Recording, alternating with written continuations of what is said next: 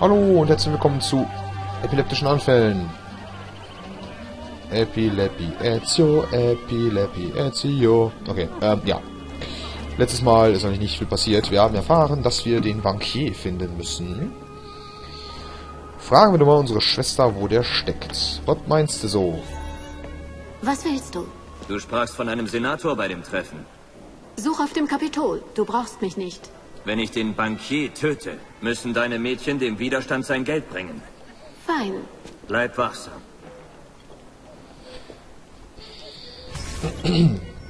Flucht aus der Schuldenfalle. Bei der Verfolgung des... Ach, Kacke. ah, dieses ständige Räuspern geht mir auch auf den Nerven. Mm. Ja. oh, Entschuldigung, was war das denn? Hol ich mir jetzt erstmal noch eine Geld und kann ich nicht gebrauchen. Ähm, ja, die folgende Mission wird scheiße. Nennen wir es mal scheiße. Weil, ähm, dafür brauche ich auf jeden Fall meine Assassinen-Rekruten und eine Armbrust. Also, die Armbrust brauche ich nicht, aber sie würde es etwas einfacher machen.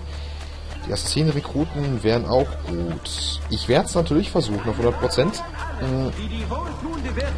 Allerdings ohne Assassinen-Rekruten ist das eigentlich nicht machbar. Deswegen müsste ich zumindest warten, bis die wieder da sind. Dann seid ihr noch weg. Kann ich das hier mal irgendwo gucken?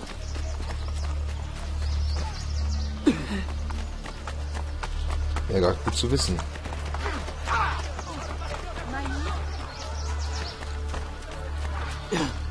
Ups, was war das denn jetzt? Ja, natürlich habe ich von dem guten Zeug getrunken. Was soll ich denn sonst den ganzen Tag machen, ne? So, bauen wir mal hier das Ding aus. Ähm, ich will die Mission nicht anfangen, bevor meine Einheiten nicht zurück sind. Das ist jetzt irgendwie scheiße. Nö, nö, also das finde ich jetzt aber doof. Das, das kann ich doch so nicht einfach hinnehmen. Mal sehen, da ist noch irgendwo hier ein Steckbrief, den hole ich mir vielleicht mal so in der Zwischenzeit. Ich muss ja jetzt irgendwie ein bisschen Zeit schinden. Ich werde das sicherlich nicht ohne die Assassinenrekruten machen, weil dann kann ich die 100% schon abschreiben. Wo ist er denn? Ja, wo ist denn der Steckbrief? Da ist er. Wieso macht ihr die eigentlich mit Pfeilen fest? Habt ihr keine Nägel? So. Es hieß vorhin mal, dass sie wie in sechs Minuten zurück sind. Wie viel Zeit ist seitdem vergangen? Ja, wo ist dieser Senator? Das ist mir scheißegal. Wo sind meine Rekruten? Ich könnte auch euch erstmal niederschnetzeln. Und ich glaube, ihr steht mir später im Weg.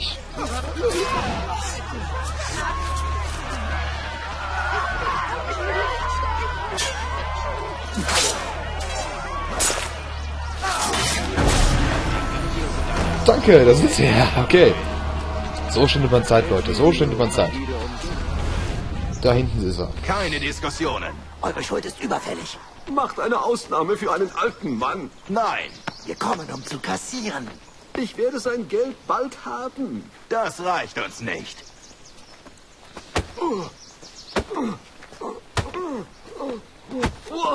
Oh, das der letzte Schlag war unfair. Das war voll in die Weichteile.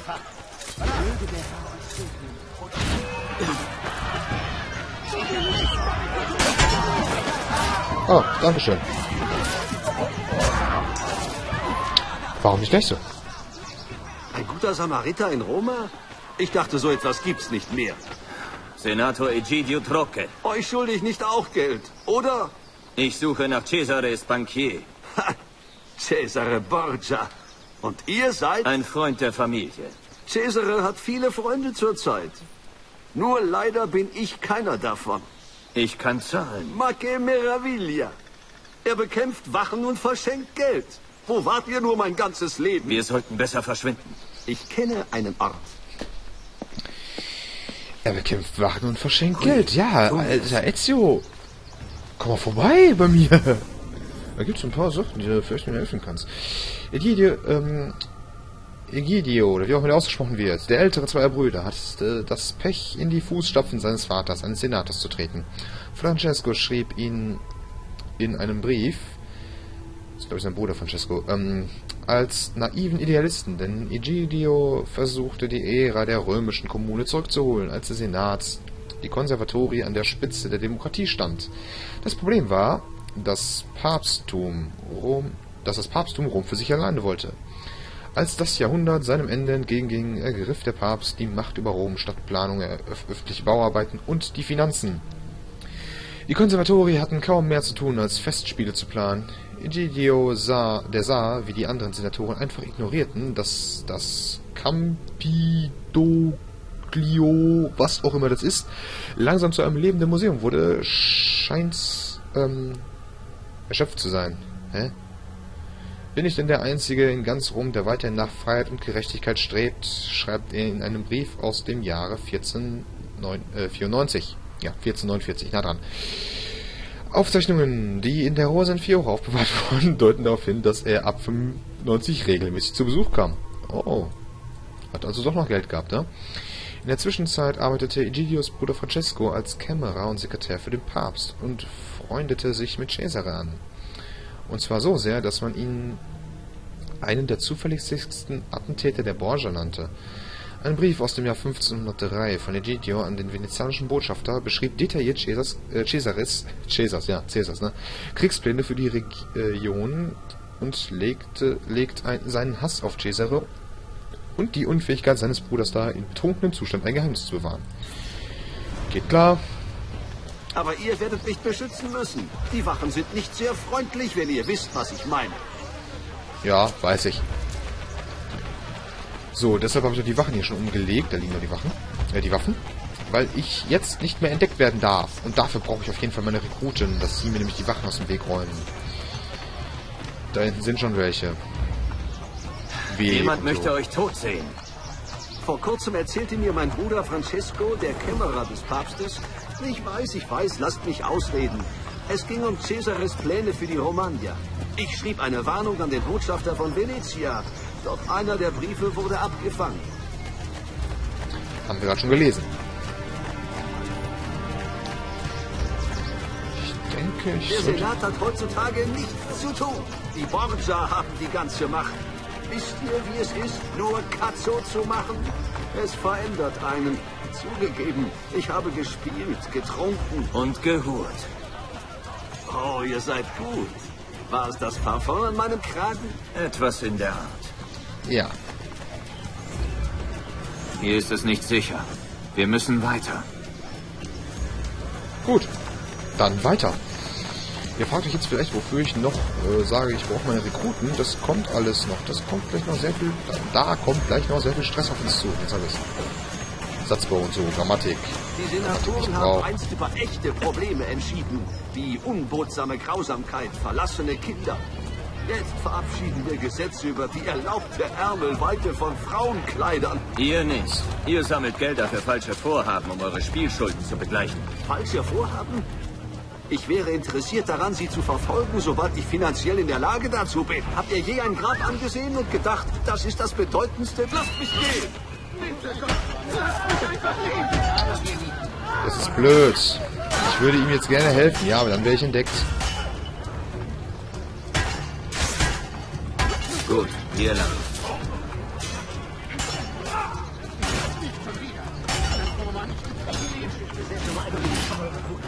Okay. Soweit so gut. Ähm, das Schicksal aller. jetzt würde ich noch natürlich gerne warten, bis die wieder verfügbar sind. Ne, so kann man vielleicht verstehen. Ähm, da hinten sind noch welche. Ich weiß nicht, komme ich da durch? Muss ja hier lang, ne? Und da sind wieder welche. Ich kann das rumlaufen. Nein, definitiv nicht. Da oben. Nee, da oben sind die Wachen. Das bleibt hier unten. Oh, scheiße, das ist ein Borgia-Turm. Da kann ich auch nicht lang.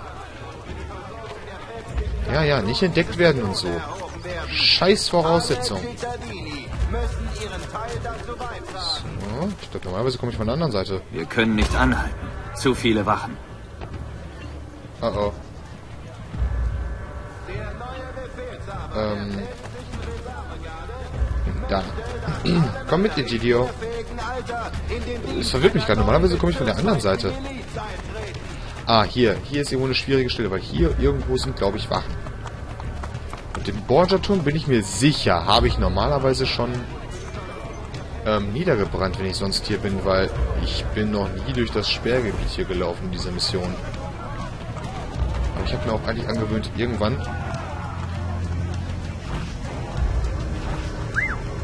mir eigentlich angewöhnt, irgendwann immer die Borgia-Türme schon zu machen, so viel ich kann. Wir sind natürlich schon wieder angegriffen. Das ist scheiße. Komm. Was? Achso, ah, ich habe mich gefragt, was, was stand da gerade jetzt hier? Wie, Mission fehlgeschlagen oder was? Also, ähm, 100% fehlgeschlagen. Nein. Ähm, war was Gutes. Glück gehabt. Ähm, auch wisst ihr was. Wo ich gerade hier stehe, ne? So.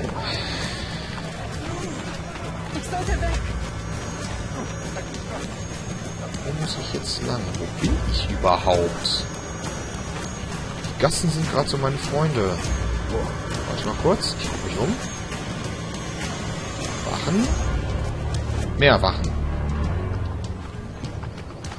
Los geht's. Es hier einen zweiten Weg? Gibt es wohl tatsächlich. Ah, ah scheiße, ich erinnere mich. Kommt mal mit.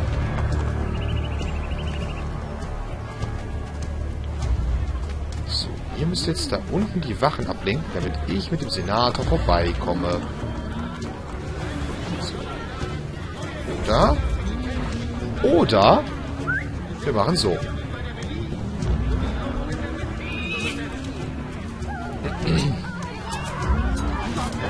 Das läuft doch relativ gut. Mein Assassine ist verletzt. Das liegt wahrscheinlich daran, dass ich momentan noch benutze. Das gefällt mir auch nicht. Ich weiß jetzt nicht wirklich, was ich tun soll.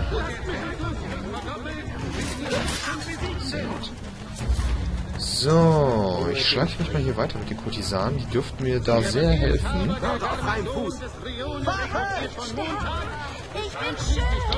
Okay, jo. Mitglieder für die päpstlichen Streitkräfte.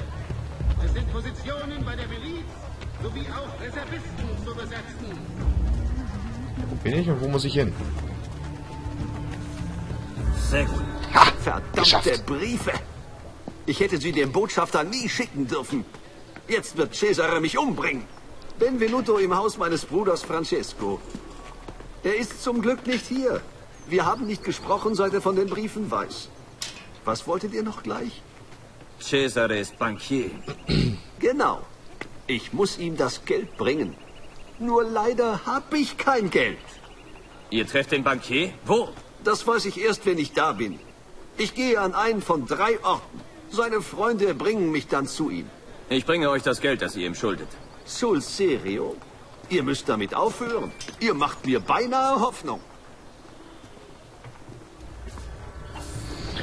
Wie viel Geld brauche ich? 3000. Hau raus, Junge. Mach ich direkt die nächste Mission. Ich kann nicht glauben, dass ihr das für mich tut. Es gibt eine Bedingung. Ich wusste es. Behaltet die Politik der Stadt im Auge. Ich möchte, dass ihr Maria in der Rosa in Fiore von allen erzählt, die den Borgia helfen. Und dann lasst ihr sie verschwinden?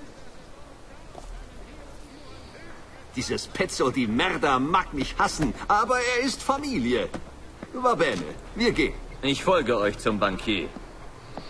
Ja, und auch das ist nicht einfach, finde ich. Während der Verfolgung des Senators nicht entdeckt werden und nicht den Boden berühren. Yay, wieder sowas mit nicht entdeckt werden. Äh. Aber ist eigentlich... Warte mal kurz. Das habe ich noch nie gemacht. Ich kann jetzt Dinge plündern. Zwa 20.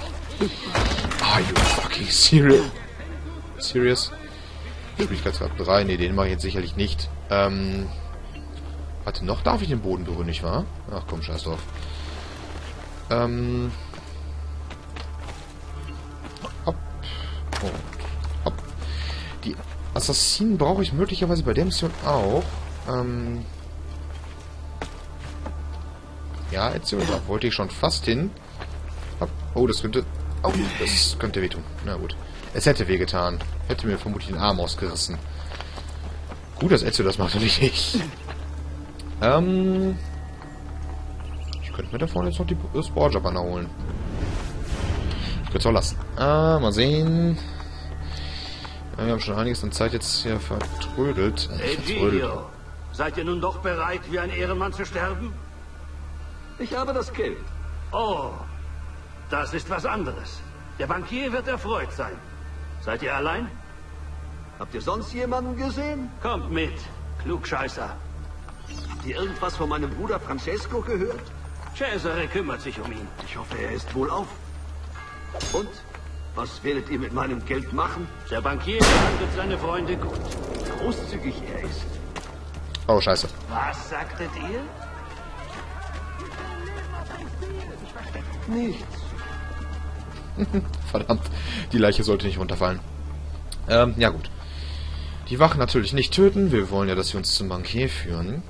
Nur auf den Dächern muss wie immer alles sterben. Ach ja, und wir dürfen nicht den Boden berühren, ne? Haben wir ja auch geklärt. So. Auch da hatte ich mal den Weg auswendig, wie ich das immer mache. Natürlich ist das eine Weile her, ne? Ein Jahr.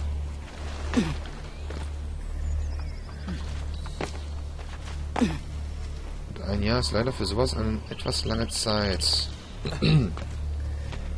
Ich hoffe, dass ich mich jetzt hier so ein bisschen auf meinen Instinkt verlassen kann und irgendwie den richtigen Weg finde. Was heißt den richtigen Weg? Also, dass ich nicht irgendwie so komme, dass ich äh, plötzlich auf den Boden muss. Weil das halte ich für wahrscheinlicher, als dass ich mal irgendwo entdeckt werde.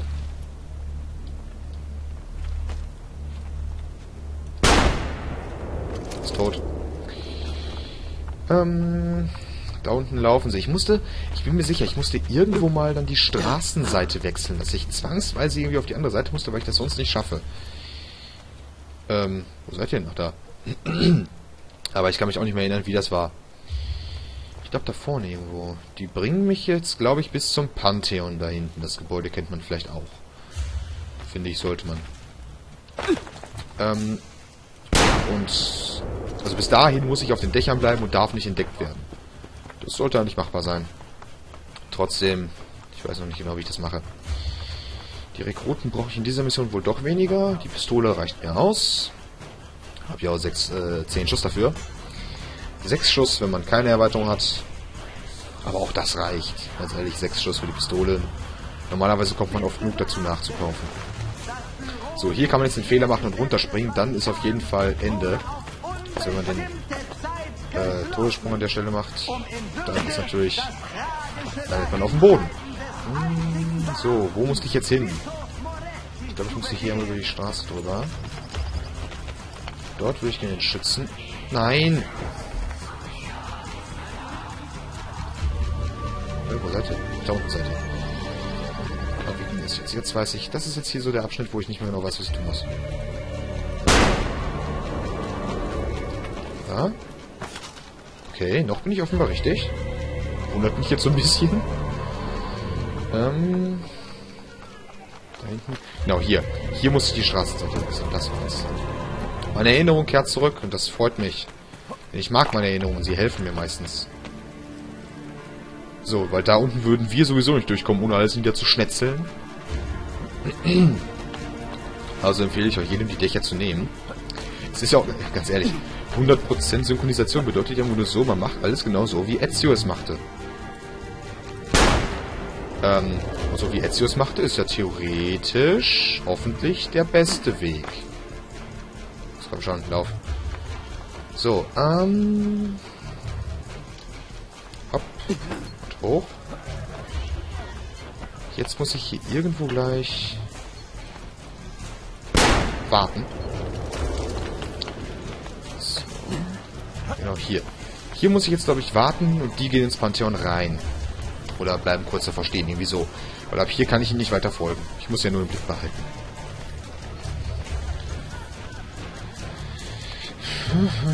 Oder komme ich näher ran? Nee, ich glaube nicht.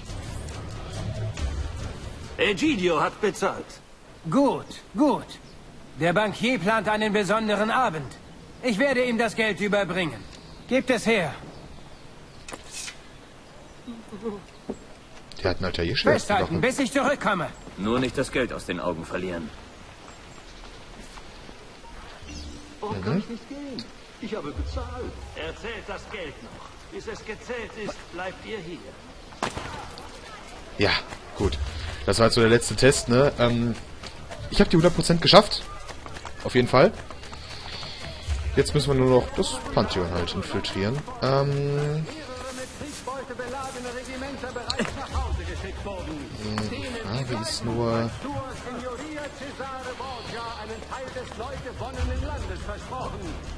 Ups, was war das denn? Ähm...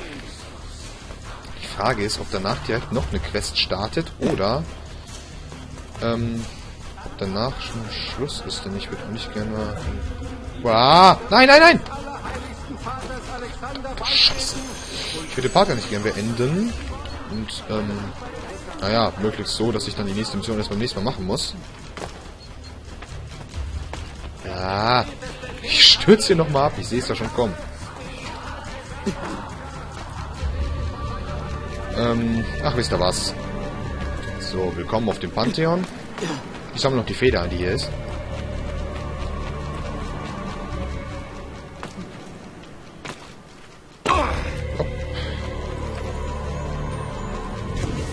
So. Ähm, und wir sehen uns dann beim nächsten Mal hier wieder. Bis dahin. Ciao.